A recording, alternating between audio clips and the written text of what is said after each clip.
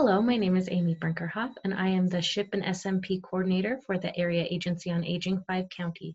Today I want to talk to you about turning 65 and starting out on Medicare.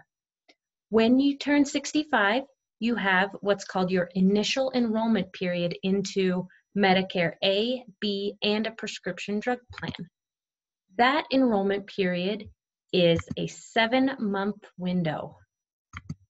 It begins three months before you turn 65, extends the month of your 65th birthday, and continues three months after you turn 65.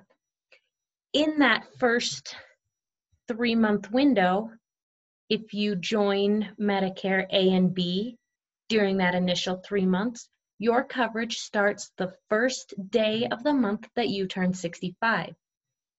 If you join in the month that you turn 65, your coverage begins the first of the following month. And if you wait until that three months after your 65th birthday, then your enrollment is delayed.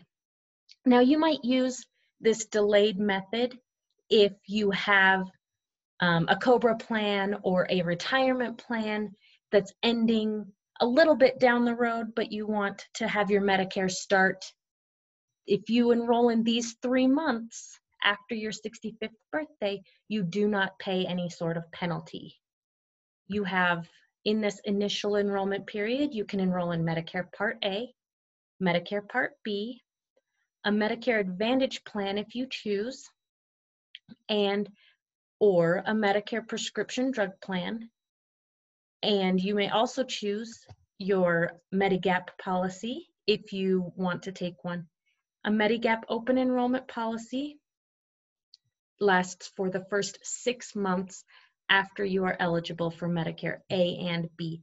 So you could start your A and B now or immediately and still wait a few more months to add your prescription, sorry, excuse me, your Medigap policy down the road.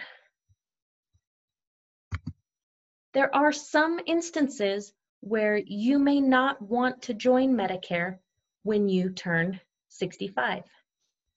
If you are still working or your spouse is still working and you are covered by employer group health insurance, you may not need or want to join Medicare right now if your employer health insurance is less expensive or better than the coverage you get under Medicare. Note that that only works for active employer group health insurance. It doesn't work if it's a retiree plan.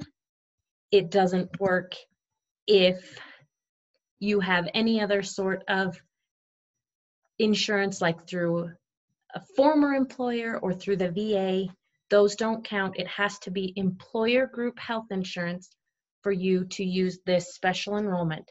Now, this special enrollment period ends, begins when your coverage from your current employer or your spouse's current employer ends and extends for eight months afterwards to get Medicare Part A and Medicare Part B.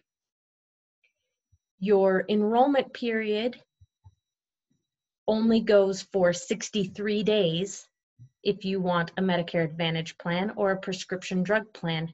From the time that you enroll in A and B, you have 63 days to do the Medicare Advantage or the prescription drug plan. If you would like a Medigap policy, you have six months from the effective date of your Part B to buy a Medigap policy where it's guaranteed issue, which means they can't ask you health questions or turn you down because of poor health. If you use this enrollment period, there's no late enrollment penalty, and you can use this anytime when you lose your employer based health group health insurance.